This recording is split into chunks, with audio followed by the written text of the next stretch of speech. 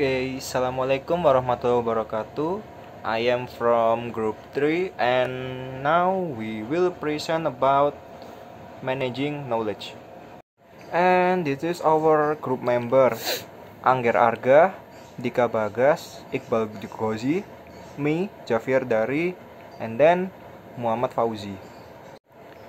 Okay, the first one is what is the role of knowledge management system in business?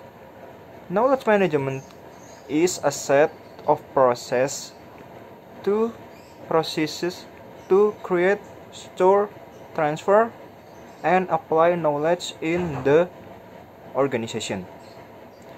Much of firm's value depends on its facility to create and manage knowledge.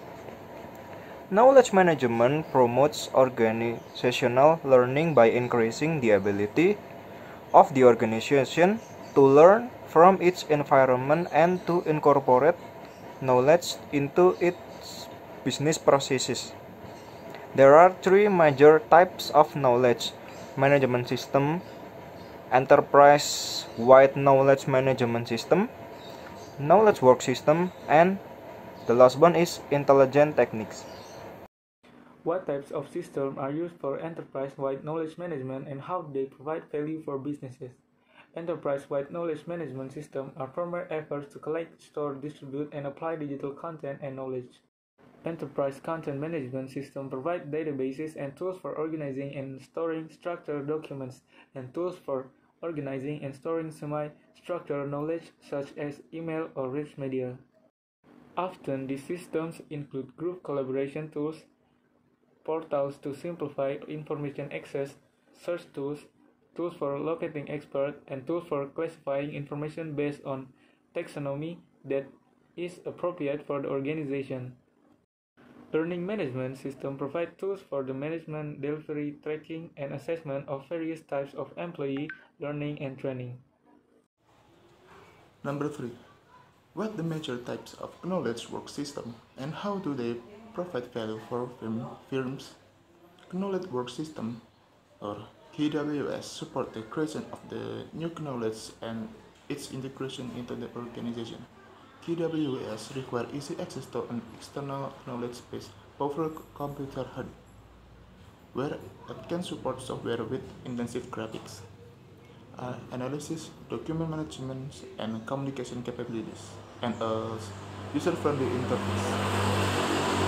Computer-aided design (CAD) system, augmented reality application, and virtual reality system which create interactive simulation that behave like the real world require graphics and powerful modeling capabilities.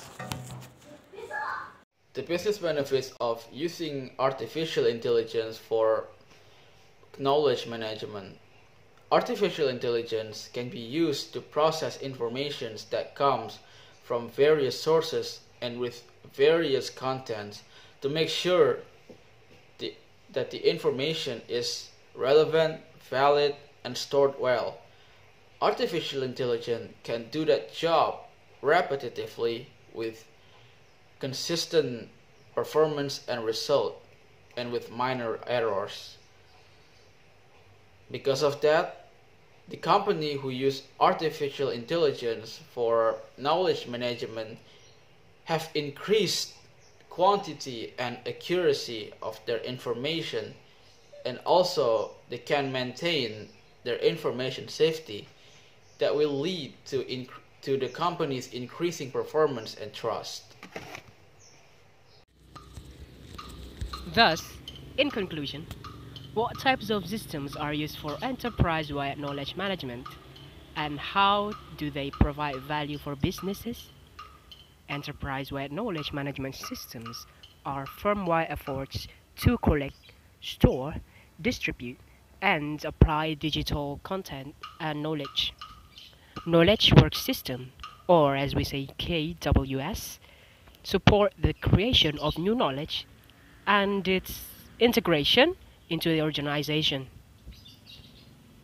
Computer-aided design, or should we say CAD systems, augmented reality applications, and VR or virtual reality systems which create interactive simulations that behave like the real world, require graphics and powerful modeling capabilities.